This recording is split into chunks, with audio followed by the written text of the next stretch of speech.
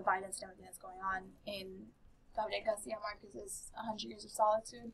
He talks about something that actually happened, the conflict with the banana company, but brings in magical realism and kind of gives it another feel, and how that um, plays into the history of the region as well. So I don't know if you guys enjoyed that chapter as well. Have any comments That was on probably that? my favorite chapter. Yeah. Yeah, me too.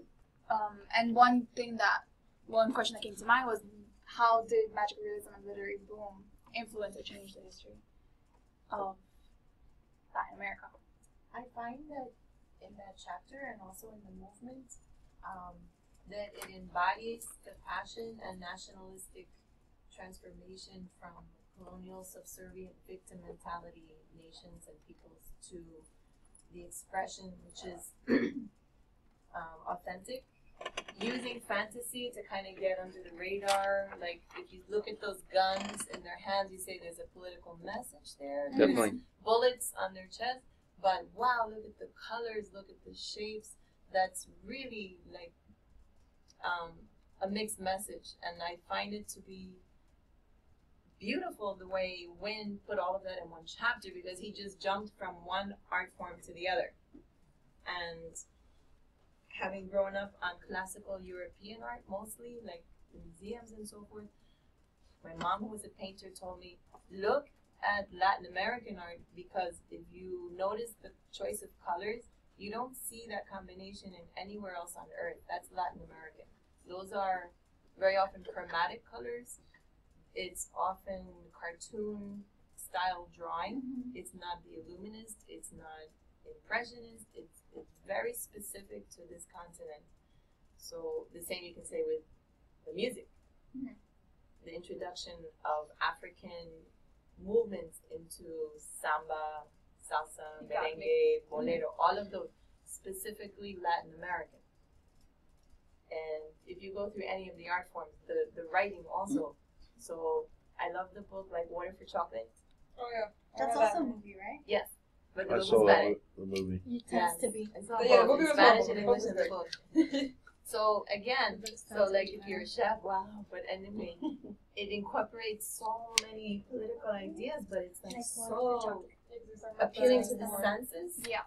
While it's giving you the message of the soul of the people.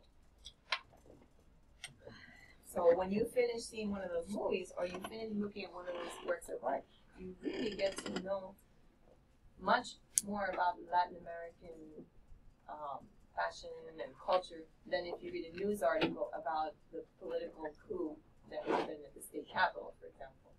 Yeah, magical realism for some reason just made me think back to the Harlem Renaissance. Yeah, Mm. that's Yeah, very much. So that's what kept coming into my head, like just the upsurge and rebirth of you know just consciousness and creativity. So it just reminded me of the Harlem Renaissance a lot. in the, the, the last question, Mhm. um, I in at the beginning of the chapter he said that he is going to meet with uh, some people in Cuba, but they they meet with him before ten o'clock because at ten o'clock is the Brazilian soap operas, the Brazilian Ah, telenovela yeah. La Esclava, and and yeah, La Esclava like. Uh, uh, Everybody in Cuba during that telenovela La Esclava don't uh, work be, before 10, do everything before the telenovela because at the time of the telenovela is just to see the telenovela. The Brazilian telenovela in Cuba la, was like the world boom, was a boom in Cuba. For example, every Brazilian telenovela brings something, uh, uh, Cubans uh, try to imitate some styles of the telenovela in every telenovela. For example, Right, one telenovela, uh, the pro- one of the protagonists have short hair. It In- became a trend. In, in, in, in the first month of the telenovela, all women in Cuba have that short Short hair. Uh, like Cubans, like every, uh, like like see the, the Brazilian telenovelas was like the like like yeah, the it thing. The, the one the one that they want to do. Wayne, what was your favorite chapter? Uh, it would be the, the international relations one. It would be about chapter States, since he gave a pretty good overview of the situation internationally, while also going into a couple little details. Like in the, I think that one was. Is that the one on revolution? Yeah, I, I think I think it's part of it. Yeah, and it talked about uh, You made the Jamaica slides. too. I think a little bit, which is pretty interesting. We made slides. What did you like in that chapter? We made all of it. Um, Just Do you guys want to know what that is? Yes. Is it That- in Honduras? No, it's not in Honduras. For the first time, I have decided to branch out. Panama? Panama. Oh. Yes. It's the 1989 invasion of Panama. No idea. No idea. I'm gonna post the documentary in the group chat. Panama. Um, I remember that. You do? You remember that picture? I remember a lot more than that. uh, Were you in Panama? No. Like, No, I was not in Panama, but I, Panama I no do remember a quite well. Yeah. That's crazy. You, you know, honestly, Wayne, I'm with you right there. Chapter 12 was one of my favorite chapters, and honestly, it, it was just such a such a like change from, from going to, to magical realism and religion, and then boom, Boom. back to the the IR. one The thing real that's world. the one thing that's at the core of what Latin America has struggled with, which is the idea of sovereignty. And To if me- I, if I sorry to interrupt you, but I think it, I, your statement made me. I just wanted to put it out there that the real world isn't magical realism kind of in a way the real world too. That's like but they're just I making it look nice. But even not then, I, I think it is the real world. Like Gabo used to say that he didn't write fiction. Like he just wrote stories that his grandma would tell him and things that he would see in his home country. And that's what I really appreciated about the magical realism book. I mean, obviously the contents of it, but also the way that Winn put it out there in um in like a hey guys, this stuff that it gets sidelined as like artsy fartsy like not not really important for history is actually really important. And these pictures and these songs and these literature murals, the and also a big thing that he tried to, to emphasize was how this was for the masses. This was for a time where like okay we're trying to reach the people. We're trying to revolutionize this whatever oppression neocolonism whatever you want to call it the poetry circles that he mentioned reaching out. Mm-hmm. So like it starts with Latin American boom. Okay what about the people that can't read boom the murals, The murals, boom the yeah. poetry circle boom. so I think uh, the music, how he brings it all the way from from the originals to like contemporary reggaeton and stuff like that. What what is he trying to say? He's trying to say, hey guys, again, this is also real. This is also important. And finally, as a humanities person, I was like, yes, like endangered states, all that is important. Politics, economics. I'm coming around to it, but guys, Please. this this is also very real and very legit and very Something. very Please. like you So know. does she usually. Please always steers away from the from the dreadful world of economics, politics, and international. Oh. And and again, it doesn't like It is dreadful. it- What- what is- it's It very is dreadful. and in I a can't live without politics. It's very depressing. I In a mean, way, it's what economics is the Grace dismal was saying. science. It's, a, it's I think at least for me personally, again, when you're not in that niche that you don't study IR or political science, what happens? It's like when people watch the news. Who's watching CNN? A small niche of people. Yeah. What are the most people watching? Univision. Univision. This is like the Univision of this all this. This is the stuff that's gonna mm-hmm. get to the masses. This is the mm. stuff that people that are not interested in this. Yeah. Like for me personally, it was reading like like. But then again, um, he also mentions that what you say that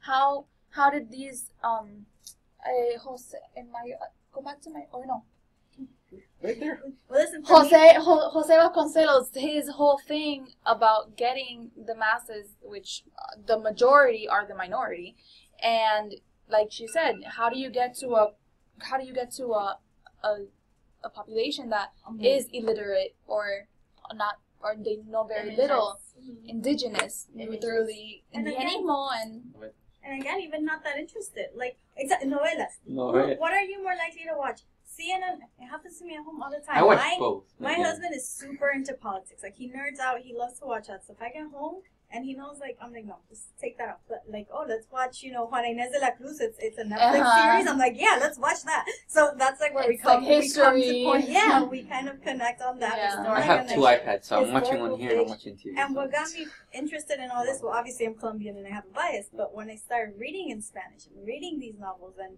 and searching up the author and like, oh, look, this is happening in Argentina. This, oh, crap. Like, now I understand what I'm reading more. And I think that's part of what makes this chapter so important is that when Yeah. points that out as a very real thing. Like it's not just like oh magical how, how it happens often. Magical frivolous. realism, yeah, not this frivolous. frivolous cutesy thing that is imaginary. No, it's like film. all these things, that marginalized. art, poetry, music, It was all of it is marginalized in the very- galleries. It's very real, and it's part of what reaches a big public that otherwise may not be interested. And even us here in the circle, we're a small minority because we're in higher education. A lot of us in political science. A lot of us have opportunities and access that the majority do not. So I just want to point that out. Nikki Sorry. Wow, that was- Honestly, no, Nikki good. Giovanni said that if art doesn't reflect I really life, it isn't art. So, Yeah. So you want to make your case for uh, sovereign national sovereignty? as Okay. a- Oh, absolutely. We But, will- Slide, but before, but before we go into that, I just want to say that that was an excellent yes. contribution to it. I, I was like, I'm literally like floored, you know, because Oh, because I I, feel offended. No. I will sit down on the floor. But uh, um, honestly, we we tend to forget that this is very important to Latin America. It's it's a it's one of the most important ways to get to the people that are that are out there. And honestly, if I if I have to review our group, and I hope this doesn't work against us. Then don't mention it. Just move on. Move on. Just go to sovereignty. No, but like I'll mention one of the weaknesses in our group. We both are not like that well versed with magical realism and It's true. all these other things. My focus is everybody wants to say it? Economics. Economics Politics. and IR. and IR. Yeah. So I'm, Politics. so I'm And you doubly too, right? depressing.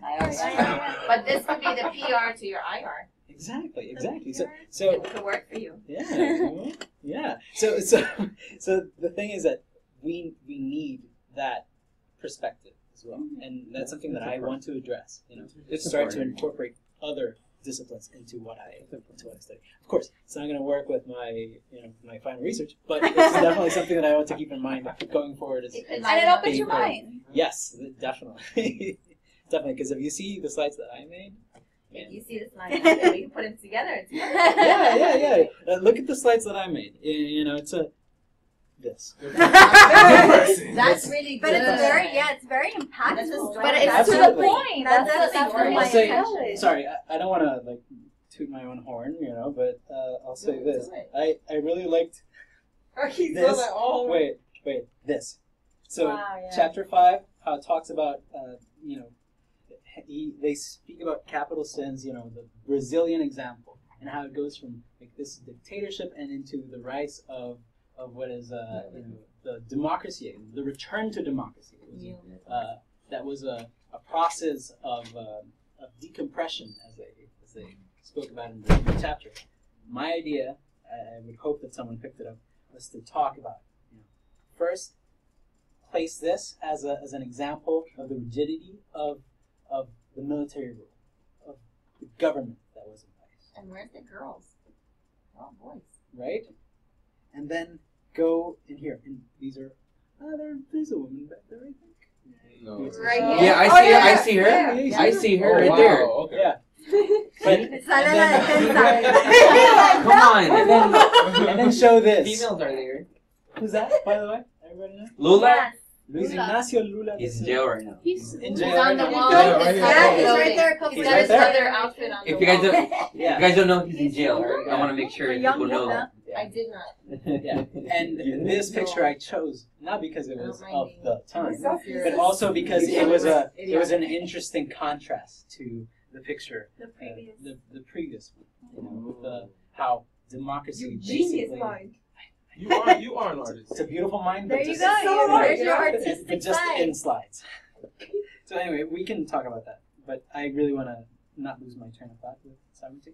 So Yeah. sovereignty. So uh, as I was saying, um, after this great, great, great interruption, uh, no, amazing. Amazing, yeah. So, uh, so uh, what I wanted to talk about was the fact that sovereignty is at the core of what Latin America has always struggled with. It's uh, it's part of our identity. I'll tell you the national motto of Honduras. There I go. I'm talking about Honduras. It's libre, soberana, e independiente. Oh, wow. Yeah. Free, sovereign, and independent. We are not free. We are not sovereign, and we are not independent. at all. but it's a hope. It's a hope. It's a hope to one day achieve that, Mm. and um, that's the key theme of the of the, of the chapter. and it speaks to every single Latin American country. Everybody wants to have the two dimensions of, of sovereignty that Winn mentions, which are one, political, uh, sorry, um, popular sovereignty, which is you know the sovereignty of uh, achieving that achieving the sovereignty of the people over the elites, over the ones that control the power, that control the, the, the wealth of the nation, which has been a part of you know the entire history of Latin America. It's been the case that whenever things start going well in Latin America, what brings a regime down? Inequality. Yeah. You know, people start seeing the wealth is concentrated over there. Polarity. Mm-hmm. Yeah, let's get them down. And someone rises up, says, "All right, we're going to change it. We're going to change it. We're going to change it." Starts bettering things. Yep. Stops Sorry. Corruption. Start. It stops again. Inequality keeps rising. Again, it's a it's a never-ending cycle. It's a mm-hmm. never-ending a never-ending cycle of rebellions, which is another thing that they go into in the revolution chapter, which is Yeah. that you know Latin America has gone through so many rebellions, Definitely. but very very few rev- revolutions, which is seizing the means, well, not the means of production, but yes, the means of production. And I don't want to sound too Marxist, but Wow. You're too passionate Getting right now. You're too up. passionate. Yeah. I was gonna knock on the on the wood that I saw here. So anyway, uh, it's uh, it's that. That's the that's the history of of, uh, of Latin America. And sovereignty is such a, a key concept. And uh, you can you can see the other aspect of it as well, which is it doesn't only extend to our you know the the people, the majority's struggle to achieve sovereignty over its nation. It's the country's struggle to achieve independence from external powers. And that goes every single example. And that chapter is honestly beautiful because they go into into three examples. One, the example of um, of Jamaica and how it was undermined by the U.S. as it tried to reclaim lots of its uh, of its natural resources of, of its Bauxite. resources and to set its own foreign policy. And it was undermined by the U.S. because you can't go against what we say in our sphere, in our backyard. You know? And uh, where is it? Where is it? Why am I blanking on the on the Panama. Panama? Yes, and the Panama. and that's one that's one perspective, right? That we're trying to reclaim our national sovereignty over our own resources, and we have the occasion of the the the, the situation of Panama, which is an invasion, uh, an overt invasion from the U.S. to protect the interests of their country over it. In that way, invading and, and, and just undermining sovereignty in general for the nation. And then you have Colombia, which is both of them at the same time. It's the perceived uh, weakness of popular sovereignty. You know, a, a nation that most of its non-core area are disconnected. Were at that point at least Yeah. still are disconnected from from the main core area. You know that that goes to the notion of what popular sovereignty is. You know, sovereignty over a nation per, pertaining to to one nation, and also how it struggles with the U.S. intervention during the in, during the drug wars and whatnot, and trying to set what the solution for the drug war had to be for, for, for the cartels and drug trafficking had to be. And that's where they try to, to make a solution for Colombia that it's entirely Colombian, not set by the U.S. So, um, I'm curious about something. So I've had this conversation for many years, but I've never had an answer. So what I understand is that the sovereign nations in South America, there are 33 nations, right? Mhm. So at the present day, there are many world powers pressuring one another and groups of nations around Latin America and the Caribbean to do business and allow those powers to maintain their sphere of influence around the nations.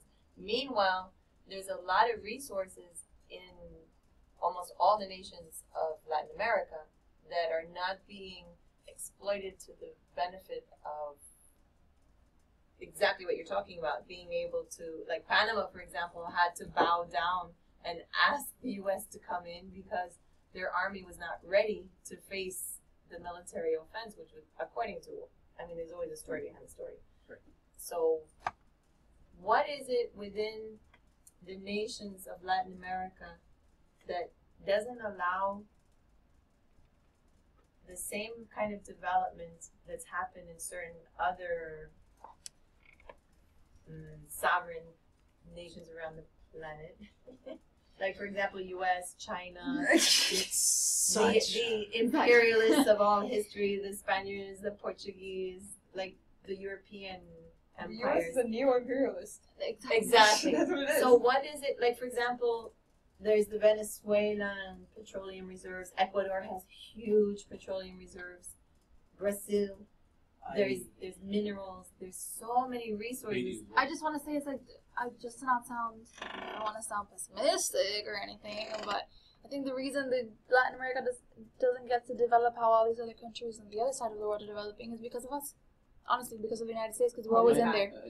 We're always in there, no matter what. I don't. I I, agree with her. I, I don't. The- on the war on drugs, There, we I went. have we to can come either- from the- we Listen, I'm. American Oh this part, God. so- Let, let's let's Listen, we went in there to fight. I ain't going. The the United States went in there. The U.S. So, government. The U.S. US government, to be more specific, went in there with the goal of fighting the war on drugs, and let's say even before that, to fight the Communism. the commun exact communism. So what is the point of us studying to this? Are we gonna change that? no, I, I want to tell you something. I, okay, it's good. Marx I, under, said the point of history is not to study it, but I- change it. I respect. I respect everyone that, that I respect everyone that believes in